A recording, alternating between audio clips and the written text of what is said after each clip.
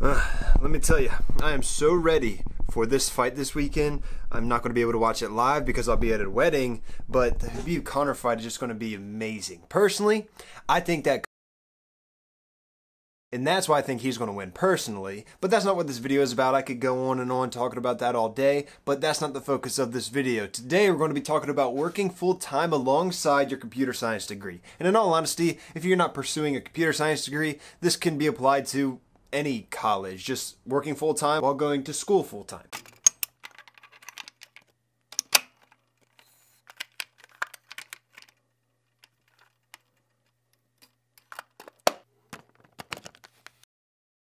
And as y'all know, I like to talk about my personal experience. So let's talk about the backstory of how I worked full time while I pursued my computer science degree. It all started when I graduated high school. I wasn't even planning on going to college. In all honesty, I had a job essentially lined up. I just needed to wait for a particular opening because, you know, they can't just hire me if there's not a spot open.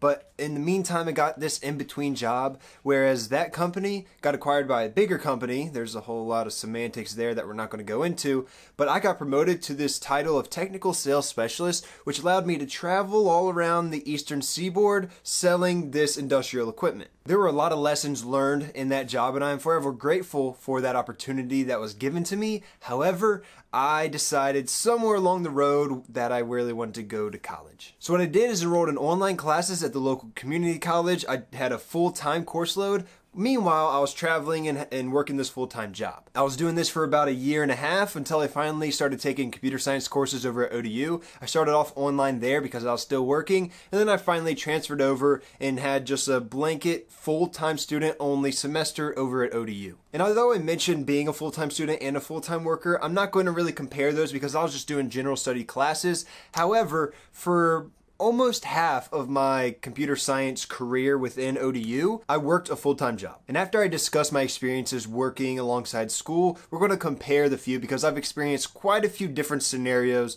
with well, we'll get into it. My very first job during ODU was my NASA internship. When I was full time at NASA, it was the summer and I took two either 6 or 12 week accelerated courses. As you know, normal courses are generally 16 weeks, so it really means that you have to focus in if you're taking one of these 6, 8, or 12 week courses. My NASA schedule was kind of lenient, sort of like 8 to 4, so typical hours. And then I also had to drive through the HRBT to NASA and home from NASA. So that was like 45 minutes each way for the commute, which, uh, you know, that equates to an hour and 30 minutes. So if we tally that up, I'm at work for about eight hours. I'm in the car for about an hour and a half. And then when I come home, I have to work on all of my schoolwork in those accelerated courses. Obviously, it's not the whole entire summer since it's only six or 12 weeks, but it was still a lot of work to get done in that short period of time. And in all honesty, I didn't really find it that difficult. The main reason for this was because when I worked at that NASA internship, they had a particular set of jobs for me to complete over the three month internship. And after the first week, I was on track to complete that, not in three months, but in three weeks.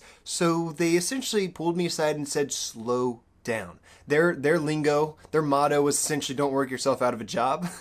and I didn't want to work myself out of this internship, so that's what I did is I slowed down, but I don't like to work slow. So what I did was I worked in sprints. And no, not like those typical agile development sprints that everyone knows and loves. I worked in like literal sprints where I would work work work and then I would take it easy and then I would work, work, work, and then I would take it easy because, like I said, I don't want to just do everything slow, whatever it may be. A lot of the work I was working on servers and whatnot, so I didn't want to just work real slow. I wanted to get the work done, maybe work on one, and then get that done, and then sit back and do whatever I wanted. So what I could do was do my schoolwork, and that was that just made things so much easier because instead of working a whole entire eight hours and then an hour and a half for the commute, and then work on all my schoolwork at home I could just do it in between those sprints and I could essentially have all or most of my homework done by the time I get home. And to be honest with you, I had so much free time, that's when I actually started my YouTube channel. That was in the summer of 2016. So now let's fast forward to the end of summer where I said farewell to my team and I hopped directly into my fall classes as well as my fall co-op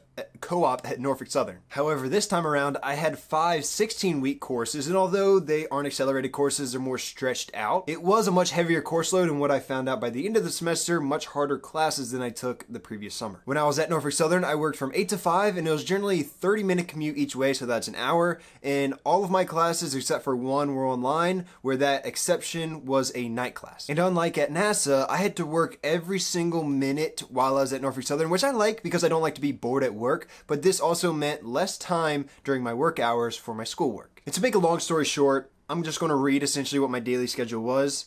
I would wake up at 7, get ready for work, leave by 7:30, get to work by 8, work until 5, get home around 5:40 because traffic in the afternoons were worse. Some days go to the gym, then work on schoolwork and YouTube afterwards until 1 to 2 a.m., sleep for 5 to 6 hours and do it all again the next day. It completely drained me. I had barely any free time. On the weekends I had a little bit more, but I still had to be conscious of all my schoolwork. And if you go back to the videos I made during the fall of 2016, you can see just how tired I was, like in my face, how I looked and how I spoke.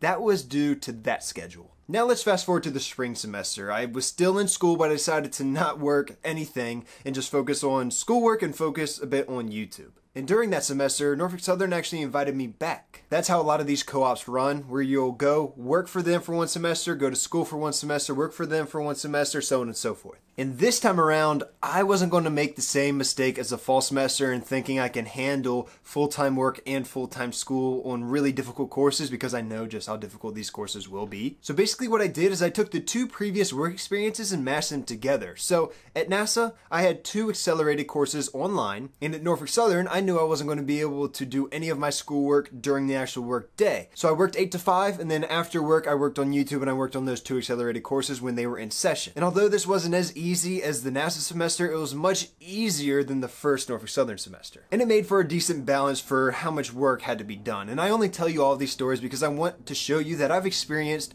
all different types of working full time while going to school, which brings me to my question for you, and that is Does this sound like something that you can or want to handle? I mean, I gave you three different semesters. One was a breeze, the other took over my whole entire life, and then the last was like, it was, it was a fine balance for what it was. My personal conclusion is if I needed to work full time and be a full time student, I would take the minimum amount of courses, which is generally 12 credits, which that'll equate generally to four courses. I would do my best to make sure all four of those courses aren't the most difficult courses I've ever had. I would try to have at least one or two easier courses in the mix, and then I would hope for a job that gives you a little bit of leeway so you may be able to work on your schoolwork during the actual job. A lot of jobs actually say, yeah, we know you're a student, so go ahead and work on it. My conclusion for you is undetermined because I, you know your situation, schedule, and discipline much more than me. So you should do your best to be realistically self aware and determine what you can and can't handle. Maybe you don't know what you can't handle. Sometimes you need to risk it to see where your threshold is between, you know, having a well balanced semester into having a semester that has absolutely taken over your life. And a lot of times the result of that will be one of two things, if not both poor work experience. In other words, you're not doing your work to the best of your ability, which doesn't give a, a, good taste in the company's mouth because you seem to be slacking, but in reality, you're just exhausted, or failing your classes. And although those two don't sound like ideal situations at all, just know that from negative experiences, you're able to learn. So if you do have to risk it and maybe you fail one class here or, or something, of course, that's not ideal at least you will learn from it, grow from it, and then you'll know better for the future. Good luck on your future endeavors. I hope you found something valuable out of this video. Until next time, guys, have a good one. Peace.